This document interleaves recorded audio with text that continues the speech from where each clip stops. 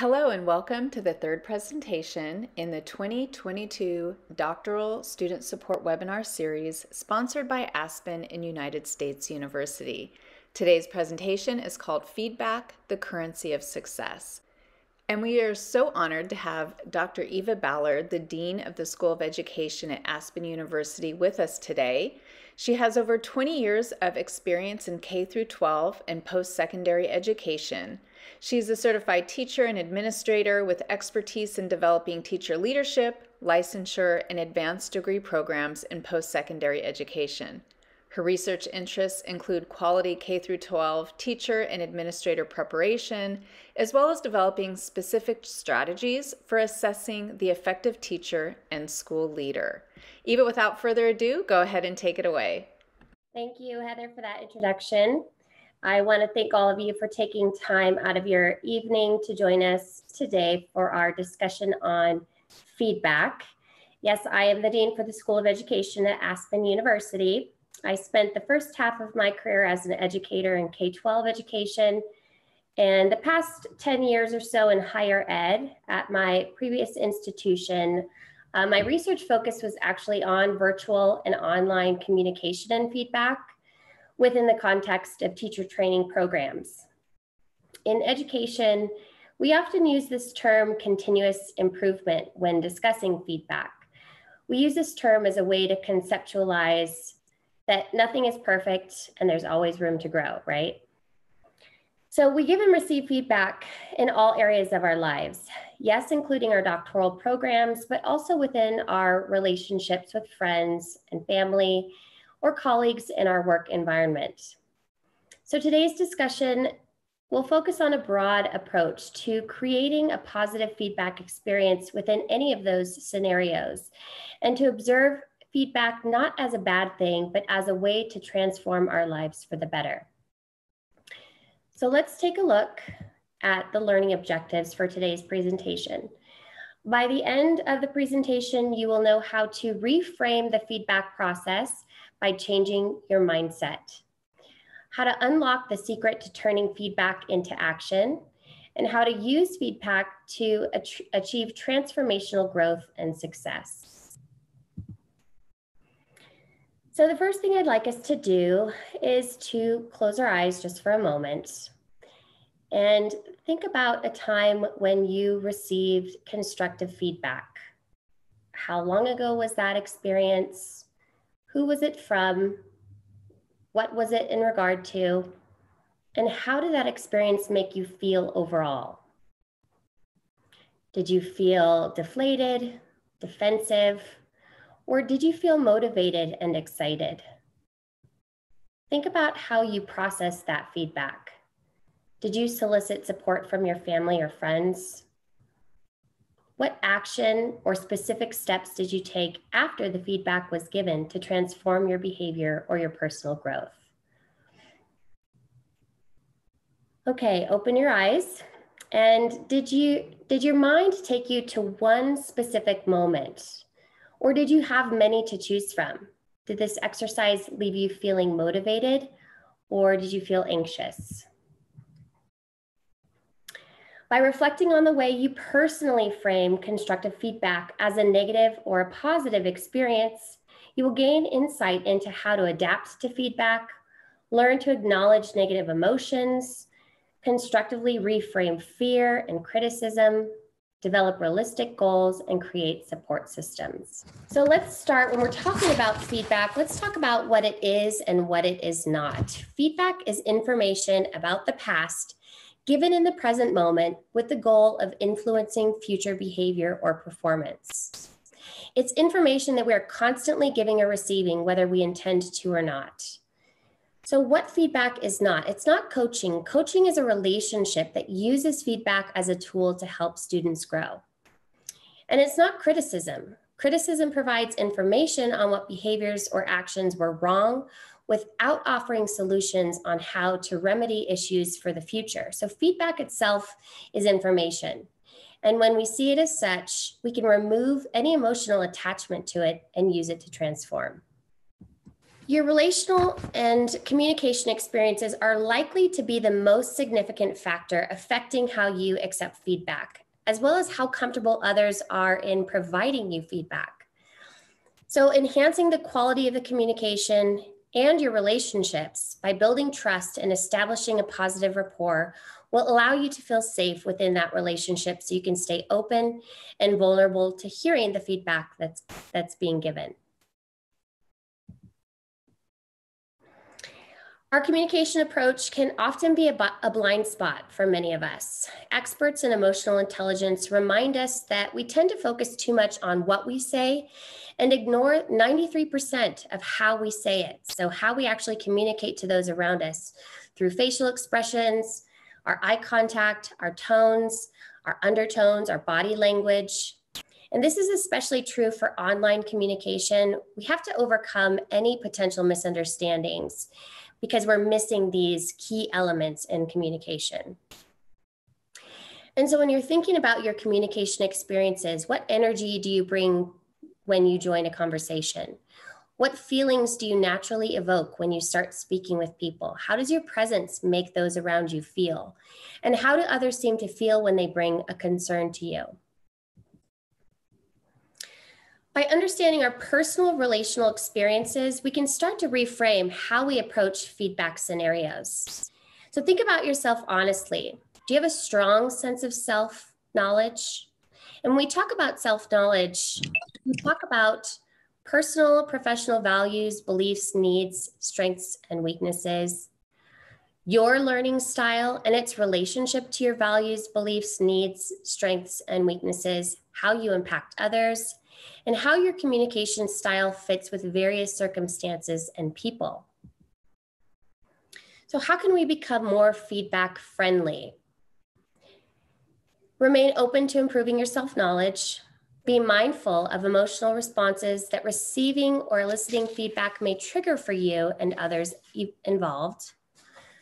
Prepare by anticipating your reactions and the reactions of, the, of others by practicing what you'll say and clarify expectations. Do you know what you what others want from you and what you want from them? So we can learn to adapt to feedback by changing the way that we look at it and by changing the mindset from which we perceive that feedback. We can change our experience with it. The first step is to respond versus react.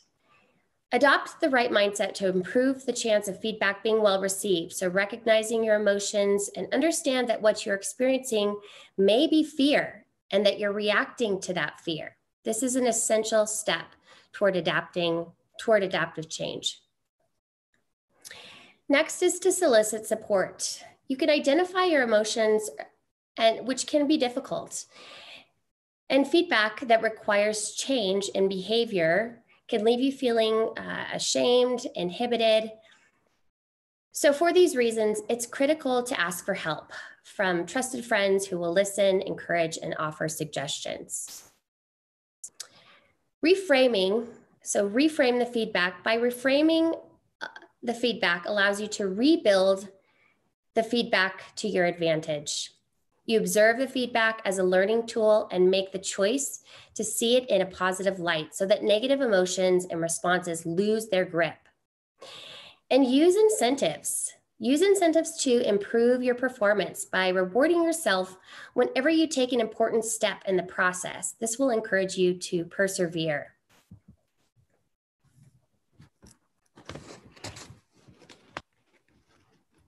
So Earlier, I talked about continuous improvement. And when we think about a loop or a cycle of learning, feedback becomes the driving force that influences learning.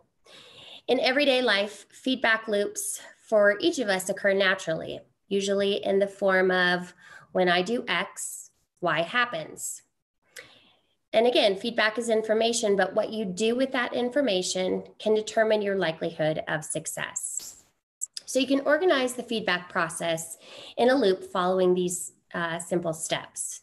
Number one, you want to identify the goals and outcomes by ins- and ensure that they're actionable.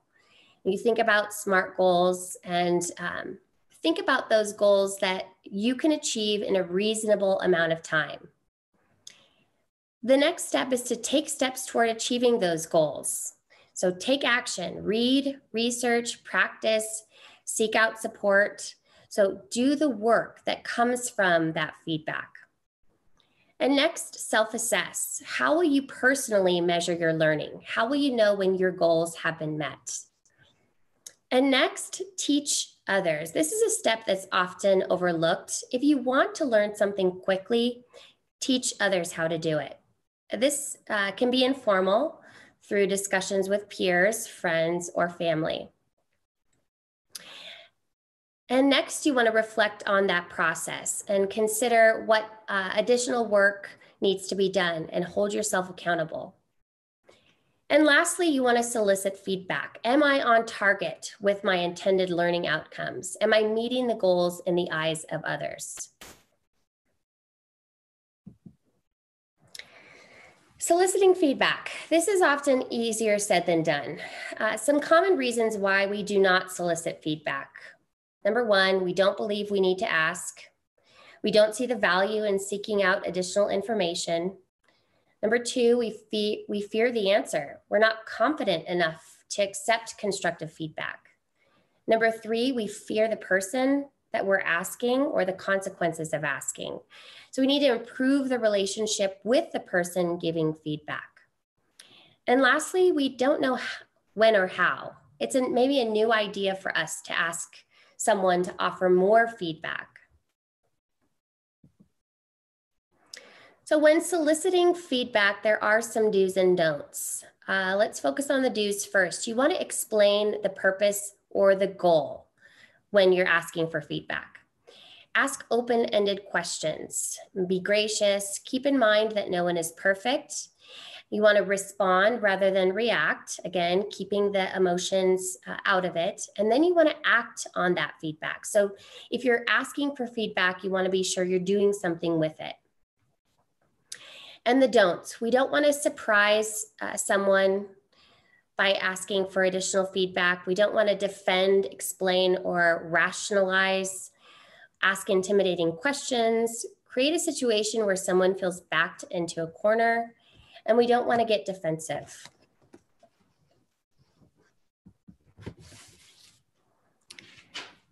So if we disagree with the feedback, so the first thing that we want to do, well, if we disagree with the feedback, is to do nothing you want to hold off on deciding whether or not you actually agree with that feedback.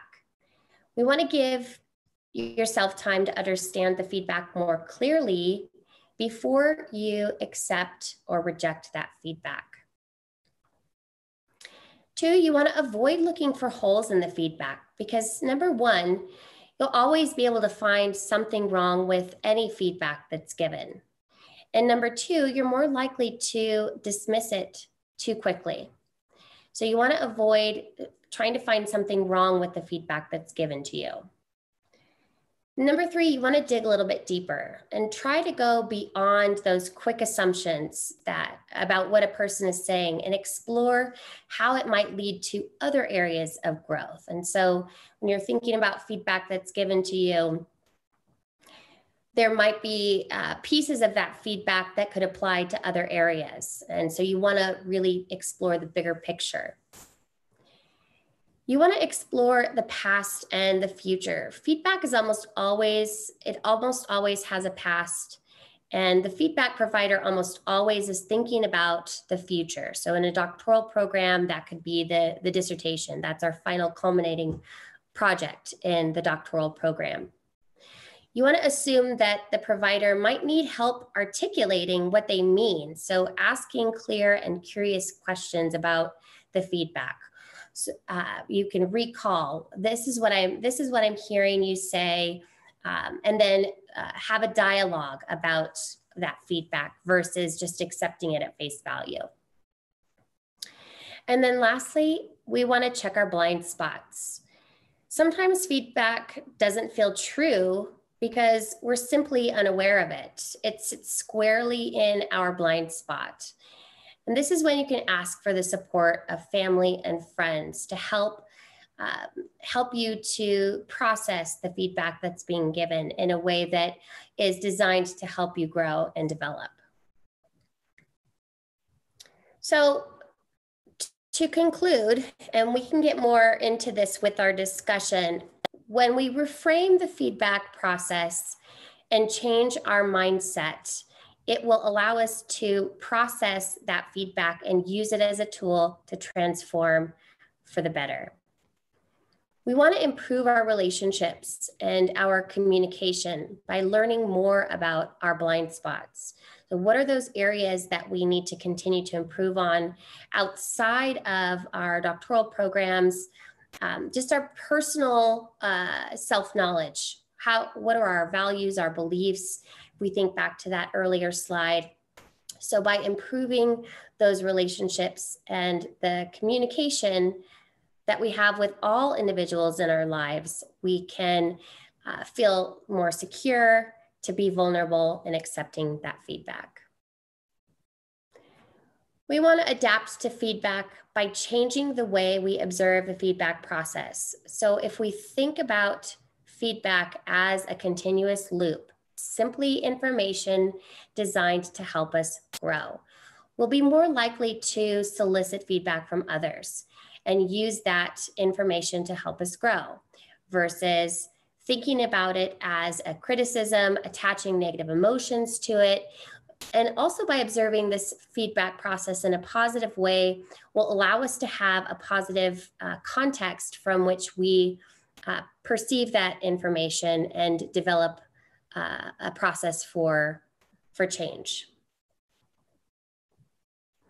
We want to turn feedback into action by establishing a feedback loop for learning. And this can be done on your own. It does not have to be done with somebody who's giving you regular feedback. So when you turn your feedback into a, a feedback loop, you're identifying actionable goals, you're, you're taking steps toward achieving those goals, you're assessing your progress, you're measuring your progress, and then you're evaluating that process by soliciting additional feedback. And then you start the process over again. And so that's the loop that we're talking about, that feedback loop for learning. And uh, that really is what leads to that exponential growth. When you're constantly taking that feedback, constantly taking steps and action towards change. And lastly, you want to practice soliciting regular feedback to transform your behavior and achieve success throughout your doctoral journey. So get in the habit of asking for feedback. Get in the habit of soliciting regular feedback from your faculty, from your uh, faculty mentors, from your bosses, from your spouse, from your partners, from your family. And when you when you're in the habit, the positive habit of asking for feedback and asking for ways to to grow and develop, then you're in a constant state of continuous improvement. And that's what we strive to do in education. I just want to highlight a few additional resources that are excellent for uh, any of you who are looking for uh, additional support in how we give and receive feedback. Uh, the first one, Thanks for Feedback, The Science and Art of Receiving Feedback Well by Sheila Heen and Douglas Stone et al. Uh, the next one, Crucial Conversations. Uh, this one we use quite a bit in uh, higher education. Tools for Talking When Stakes Are High by Joseph Grenny, Kerry Patterson. The third one, The Feedback Fix. Dump the Past, Embrace the Future, and Lead the Way to Change by Joe Hirsch. And lastly, the Fearless Organization by creating psych- psychological safety in the workplace for learning, innovation, and growth by Amy Edmondson. So these are just uh, a few resources if you're interested in learning more. They're great to have in your in your tool belt as you move through your uh, doctoral program. And uh, that concludes the information on feedback. So I would like to take this time that we have left over now and open it up for discussion and questions. I'm, I'm really excited to have all of you on this call. so we can dive a little bit deeper and, and uh, get to some specific questions. During the question and answer period, we had a very lively and candid discussion with students who shared how some of the feedback they were getting in their doctoral program was making them feel. So, talking about things like feeling inadequate, feeling like maybe they shouldn't move forward with the program. And Dr. Ballard reminded everyone to remember that feedback is simply information and was really encouraging these students to not think of it as though the feedback was bad or uh, sometimes I get positive feedback and then I get negative feedback, but to really just take all feedback as simply information. And when you develop that mindset, it's easier to approach it and engage with it in the spirit that it's being given to you to just always remember that your faculty are there to help you reach the goals that you need to reach in order to graduate. She also reminded everyone to please communicate with your faculty if the feedback is unclear and you're not sure what to do with it. Communication is such an important part of this process. Of course, persevere. Dr. Ballard reminded us that anything that is worth doing isn't easy. So to just keep moving forward. Of course, seek out resources. If you're getting feedback about something very specific, APA style, or your writing, seek out resources to help you improve those weaknesses that you may have that you need to build up in order to successfully complete your doctoral capstone project. Trust the process. Remember, everyone is here to help you succeed. And of course, build a supportive network, including specifically peers. And the conversation next month is going to talk specifically about this. Be sure to join us next month when Dr. Donald Dunn presents on building a supportive network. And don't forget the best way to find out about resources like these webinars is by following Aspen or United States University on your favorite social media platform. Thanks so much for watching, and we'll see you on the next webinar.